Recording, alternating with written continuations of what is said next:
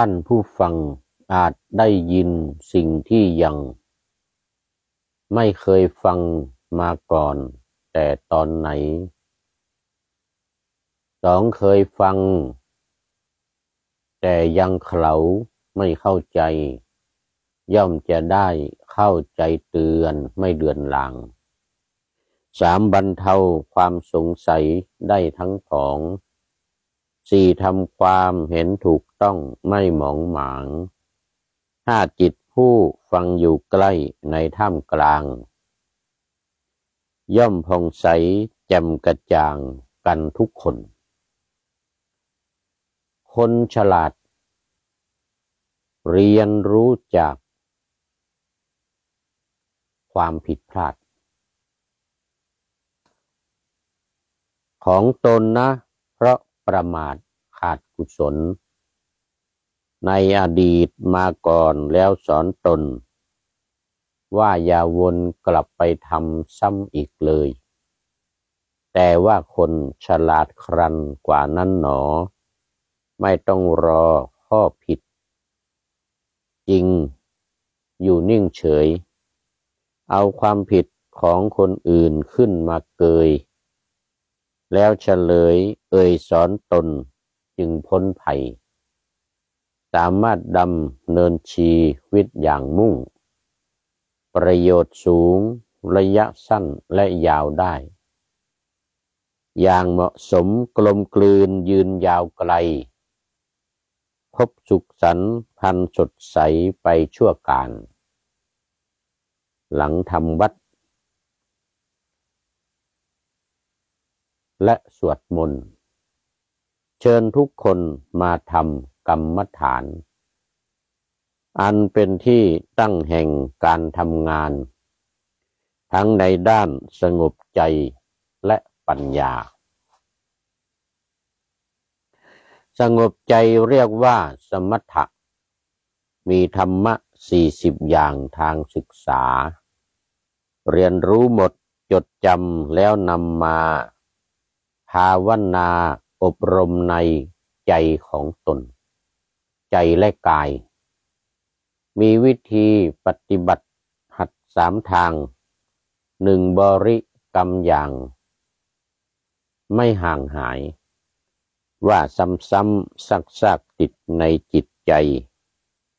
ร้อยหนและพันหนในใจของตน เช่นพุทธานุสติภาวนา บริกรรมในใจว่าหลายหลายหน ว่าพุทโธ พุทโธ พุทโธวน ว่าไปจนครบกำหนดหมดเวลา เพื่อให้จิตสงบนิ่งดิ่งตั้งมั่น ไม่ไหววันฟุ้งซ่านศาสตร์หวาดผวา เป็นอุปจาระอัปปนา สมาธิแนบแน่นหนา มั่นถาวร อันจะก่อให้เกิดการบรรลุทำเอกอุอักโขสโมสร เป็นเจโตวิมุตติหลุดพ้นจร สู่นครอมตะนลุพานสองการนับเรียกว่าคณะนา เริ่มจากหนึ่งจนถึงห้าย้อนมาขาน หนึ่งสองไปเรื่อยลิบ ถึงสิบวาน ย้อนมาขานหนึ่งอีกใหม่ เรื่อยไปครัน ถึงสิบห้าย้อนมาเริ่มจากหนึ่งใหม่ นับเรื่อยไปถึงยี่สิบแล้วรีบผัน กลับมาหนึ่งอีกใหม่เรื่อยไปพลัน ถึงยี่สิบห้านั้นผันกลับมา เริ่มหนึ่งใหม่เรื่อยไปนะ อย่าท้อถอย ค่อยทยอยเพิ่มนะ ทีละห้า จนถึงหนึ่งร้อยแปดคุณพุทธา คุณธรรมาและสังฆคุณ คุณพุทธาห้าสิบหกยกมานับ คุณทำมาขยับขึ้นไปลุ้นสามสิบแปด เป็นธรรมการุณสิบสี่เป็นสังฆคุณหนุนนิพพานสามการระลึกตามคุณความหมายของอารมณ์ทั้งหลายสี่สิบฐาน มีอนุสติสิบประการ อสุภกรรมฐานสิบอารมณ์กสินสิบพรหมวิหารสี่หัวข้อ อารูปสี่นั้นหนอแสนเหมาะสม อาหารหนึ่งปฏิกูล สัญญารมจะตุธาตุหนึ่งอุดม อารมณ์งาม ระลึกถึงคุณและโทษสิ่งทั้งหลาย ให้ใจกายสงบเย็นเป็นสนาม แห่งความคิดสกิดใจให้รู้ตาม ความเลวทราม ประเสริฐสีทวีคุณ เช่นคุณพระพุทธเจ้าและพระธรรม คุณพระสงฆ์คุณศีล คุณทานหนุน คุณเทวดามาคำจุน พรหมวิหารเกื้อกูลหนุนจิตใจ ส่วนสิ่งที่ไม่งามสามบัดซบ ก็ทำให้ใจสงบขึ้นมาได้ เช่น อสุภะซากศพสุดจันไร กายคะตาเป็นไปในกายคน มรณะสติก็มิเบาทำให้ใจของเราเศร้าสับสน นึกถึงความตายทุกครั้งใจกังวล แต่เมื่อทนคิดค้นไปใจปล่อยวาง ก็สงบภายในใจปลอดโปรง่งไม่ติดใจผีในโลง ไม่กลัวสาง สงบจากอาสวะราคะบาง ปล่อยจิตว่างห่างจากทุกสุขุรา การปฏิบัติวิปัส สนาจิต ใช้การฟังการคิดและค้นหา คือพินิษพิจารณา คือสติ เรียกสุตตะจินตาภาวนาไมมีอารมณ์เจ็ดสิบสามสวยงามมาก หกหมวดจากไตรปิฎกยกมาไขหนึ่งขันห้าสองอายะตันะใน และนอกสิบสองข้อใหญ่ในอารมณ์สามธาตุสิบแปดประการสี่อินทรีย์ยี่สิบสองห้าอริยสัตสมหกปฏิจจะสมุป บาทอุดมสิบสองข้อนิยมภาวนา พยายามตามฟังอย่างตั้งใจ ก็จะได้เห็นแจ้งสิ่งปรารถนา ตามเป้าหมายในธรรมพระสัมมาศาสดา บริสุทธิ์พุทธองค์ พยายามคิดไปด้วยตนเอง จะได้พบธรรมสุด เจ๋ง สมประสงค์ คือมรรคผลนิพพานอันยืนยง อยู่ดำรงไม่เกิดแก่แลเจ็บตาย พยายามตามติดคิดตริตรอง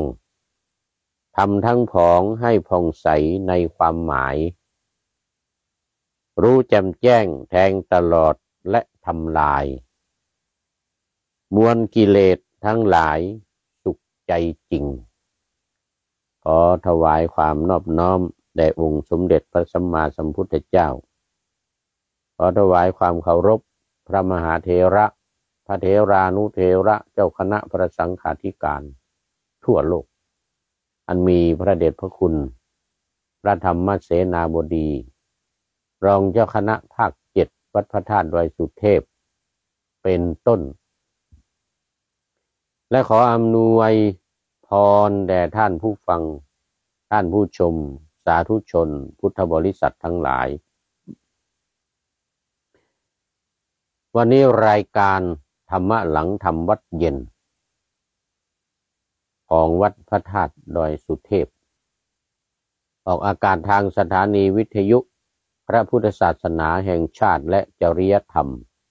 วัดพระธาตุดอยสุเทพ อันมีพ่อครูวันลบนามวงพรม เป็นผู้อำนวยการ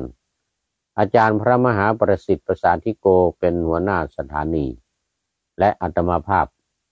พระครูปริยัติยานุศาสตร์เป็นผู้บรรยาย เป็นประจำทุกคืน เวลาห้าทุ่มตรงถึงเที่ยงคืน บางทีอาจจะเลยมาบ้าง แล้วแต่รายการก่อนหน้านี้ อาจจะ กินเวลามาสามนาทีห้านาทีก็ไม่เป็นไรไปถึงเวลาก็ก็เลยไปบ้าง แต่ว่าไม่เป็นไรเพราะว่าเอาไฟล์เนี่ยท่านอาจารย์ ประสิทธิ์ก็เอาเปิดเวลาไหนก็ได้แล้วก่อนก่อนห้าทุ่มก็ได้ หลังก็ได้ เพราะว่าเปิดเสร็จแล้วไปนอน เหมือนปิดเองพอถึงเอ่อพอว่าเสร็จรายการเสร็จจบแล้วมันเครื่องมันก็ปิด เครื่องก็ปิด สถานีก็ปิดเลยอ่าคือก่อนห้าทุ่มเนี่ย อืม เปิดเสร็จแล้วท่านก็ ปิดประตูไปนอนเลย เพราะว่าเครื่องอัตโนมัติมันก็จะหยุดของมันเอง อืมอันนี้นี่สถานีวัดพระธาตุดอยสุเทพนะที่วัดฝายหินก็เวลาแปดนาฬิกาถึงเก้านาฬิกาตอนเช้านะเออแปดนาฬิกาถึงเก้านาฬิกาอือ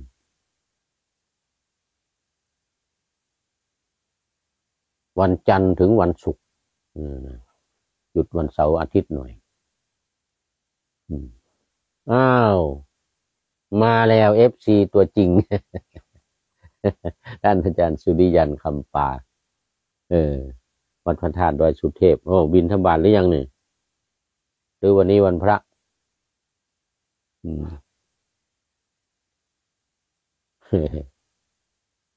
นะสาธุ สาธุ เห็นว่าฝนตกลงมาบ้างแล้ว อืม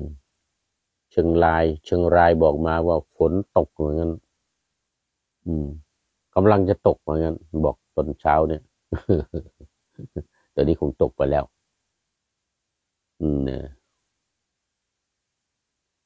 วัดพระธาตุโดยสุเทพ วันนี้ก็คงเหมือนกัน เริ่มมาตั้งแต่เมื่อวาน เริ่มการ เฉลิมฉลองงานวันวิสาขบูชา เริ่มมาตั้งแต่เมื่อวานไปจนถึงวันที่ยี่สิบเอ็ดวันที่ยี่สิบเอ็ดนั่นหมายถึงว่า การเทศการอันนี้หยุดเท่านั้นเอง การสวดมนต์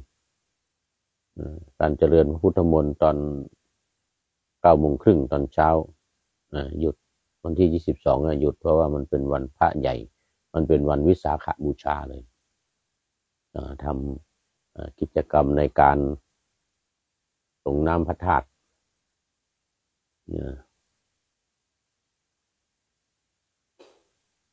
อืม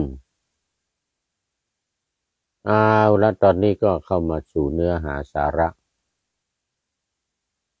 เนื้อหาสาระของธรรมะ ภาคปฏิบัติธรรมะภาคปฏิบัติ คือหลังจากทำวัดสวดมนต์แล้วนี่ก็ปฏิบัติกัน อย่างน้อยก็สามสิบนาทีเสียงทางวิทยุก็เงียบก็เลยให้มอบหมายให้ผู้พูดเนี่ย มาบรรยายเกี่ยวกับการปฏิบัติกรรมฐาน ตามหลักการในพระไตรปิฎกตามหลักการในพระไตรปิฎกอย่างวันนี้ก็เอานี่กูยังไม่ได้เปิด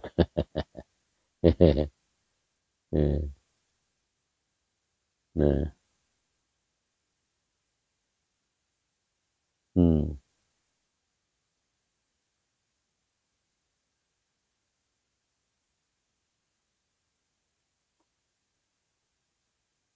นะ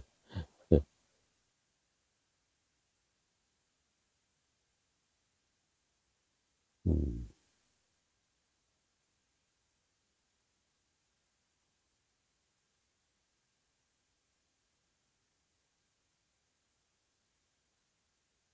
มอืมก็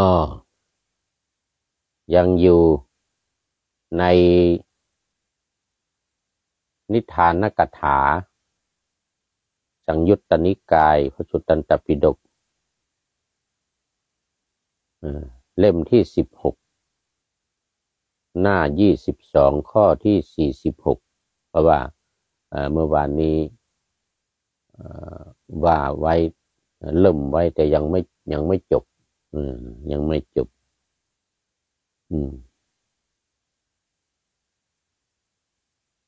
ในหัวข้อ ลักษณะของผู้ปฏิบัติธรรม สมควรแก่ธรรมคือผู้ปฏิบัติธรรมสมควรแก่ธรรมเนี่ย ว่าไปแล้วหนึ่งข้อเมื่อวานนี้คือ ถ้าภิกษุ เป็นผู้ปฏิบัติเพื่อความเบื่อหน่าย เพื่อความคลายกำหนัด เพื่อความดับไม่เหลือแห่งชลาและมรณะ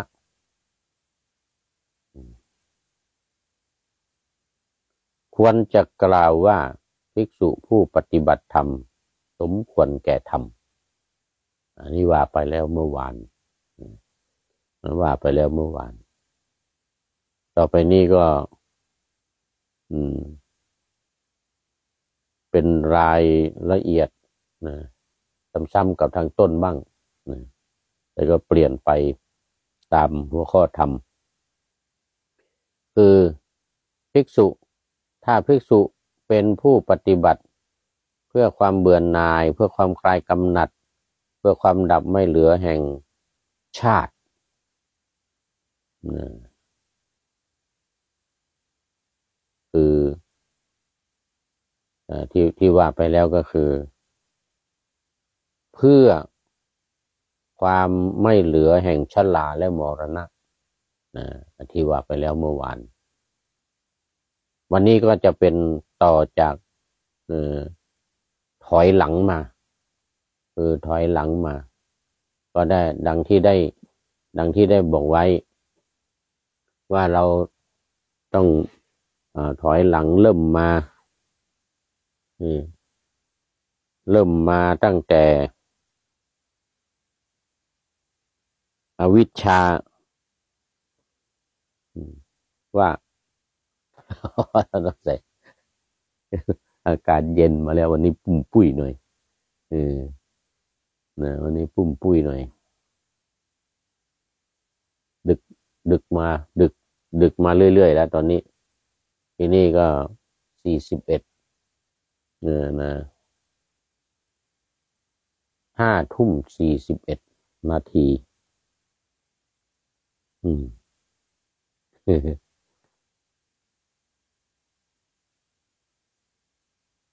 แล้วก็ประกอบกับในห้องนี้ ไม่มีเตาด้วย ไม่มีเตาไม่เหมือนห้องน้น ห้องพระ อืมแต่ตอนนี้ย้ายมาจัดที่นี่เพราะว่าที่โน่นมันเสียงดังรบกวนท่านเจ้าอาวาสมันเป็นเวลาหลับเวลานอน เสียงดัง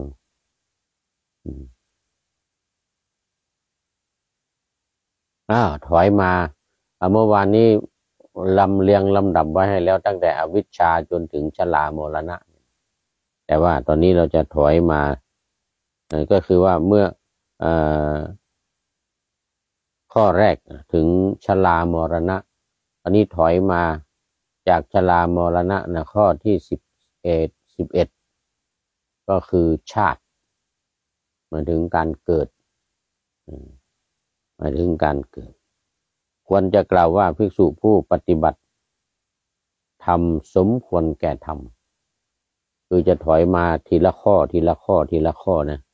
จากสิบสองเนี่ย เมื่อวานนี้เราว่าข้อสิบสองตามที่เรียงไว้ตั้งแต่อวิชามานะอันนี้ถอยมาก็มาเป็นชาติ ชาติก็ก่อนก่อนจะชรามรณะ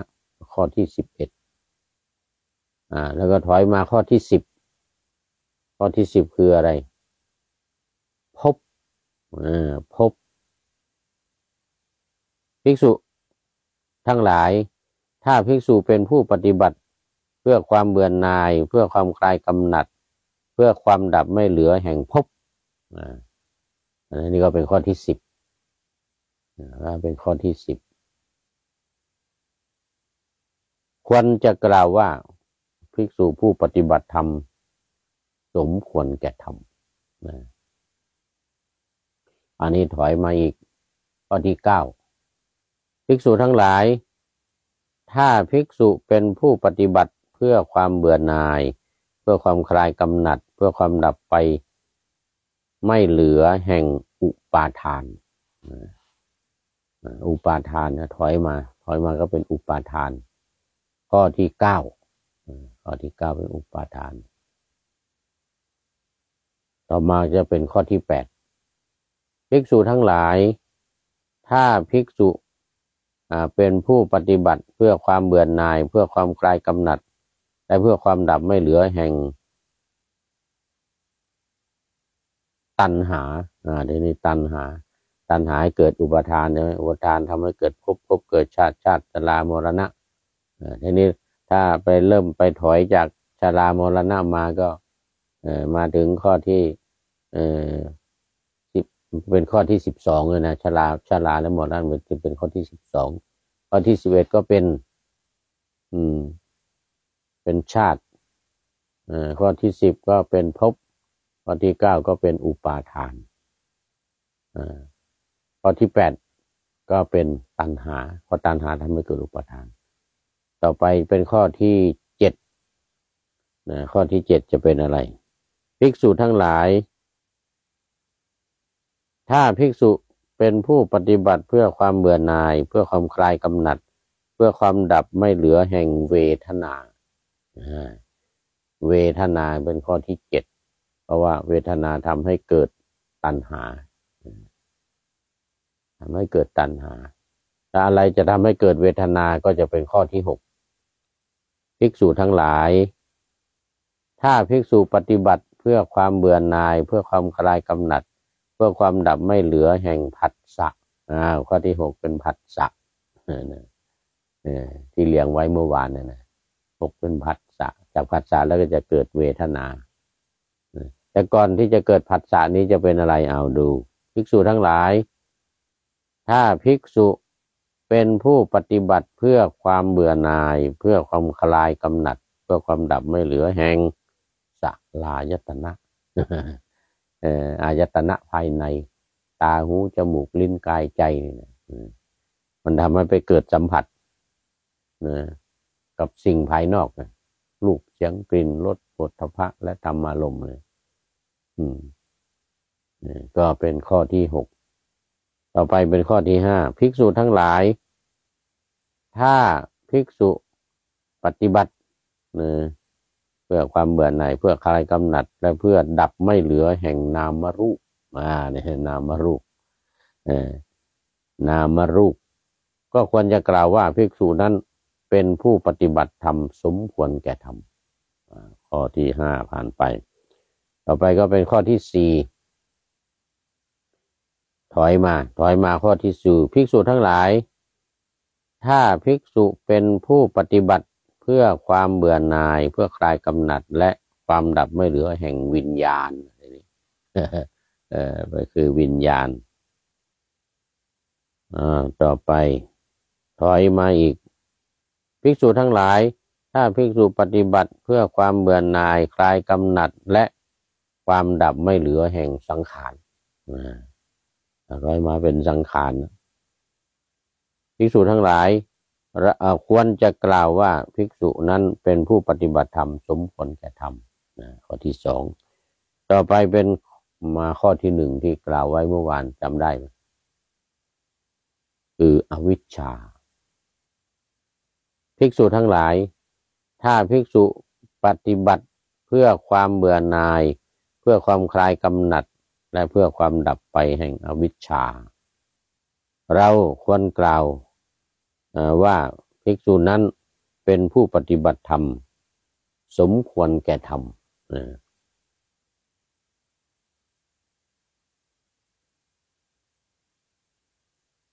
เมื่อเหลืออีกนิดหนึ่งเหลือเวลาอีกนิดหนึ่ง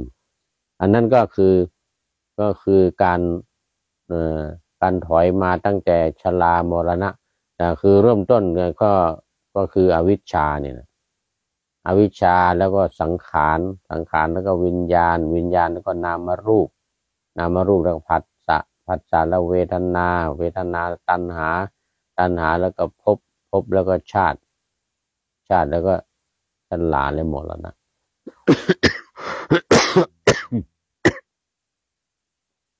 ชลามรณะนี่เป็นเป็นเป็นบทสรุปมาเป็นข้อสุดท้ายข้อที่สิบสอง อืมเนี่ยก็เรียงไปอะตั้งแต่หนึ่งหนึ่งอวิชชา เป็นปัจจัยทำให้เกิดสังขารอวิชชาเป็นปัจจัยทำให้เกิดสังขารก็เป็นเป็นข้อที่สองอวิชชาทำให้เกิดสังขารข้อที่สอง ข้อที่สองสังขารเป็นปัจจัยทำให้เกิดวิญญาณข้อที่สามวิญญาณเป็นปัจจัยทำให้เกิดนามรูป เป็นข้อที่สี่ข้อที่สี่เป็นปัจจัยให้เกิดข้อที่ห้านามรูปทำให้เกิดผัสสะเป็นข้อที่ห้า อัศจะเป็นปัจจัยทำให้เกิด เวทนาข้อที่หกเวทนาข้อที่หกเป็นปัจจัยทำให้เกิด ตัณหาข้อที่เจ็ดตัณหาเป็นปัจจัยทำให้เกิดเออเมื่อกี้ข้ามาหนึ่งสลายตนะเอ่อคืออายตนะภายในข้อที่เจ็ดข้อที่แปดอ่าทำให้เกิด ลายตนะทำให้เกิดผัสสะผัสสะทำให้เกิดเวทนาข้อที่เก้าเวทนาทำให้เกิดตัณหา โอ้เมื่อกี้แปดแปดเนี่ยมันมันสับสนตัณหาข้อที่แปดตัณหาทำให้เกิด ข้อที่เก้าก็คือ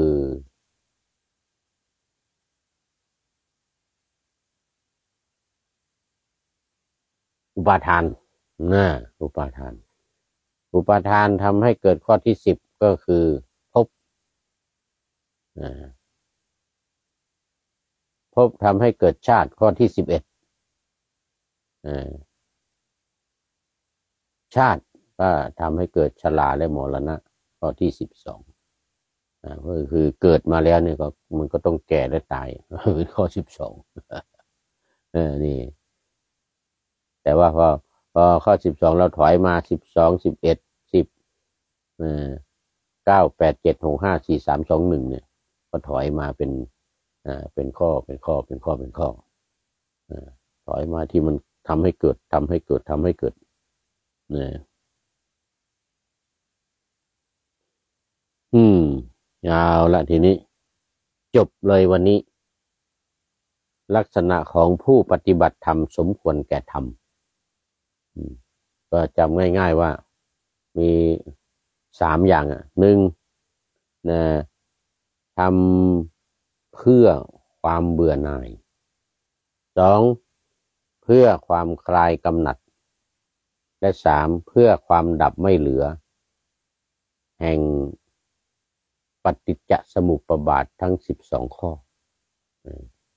ทั้งสิบสองข้อ คือดับ ไม่เหลือก็คือดับตลามรณะจึงจะเริ่มไปตั้งแต่หลับเอาเอาเริ่ม เริ่มแต่ตัณหาก็ได้อ่าอ่าขออภัยเริ่มแต่อวิชชาไปก็ได้ อวิชชาปัจจยาสังขาราคือความดับไม่เหลือแห่งอวิชชา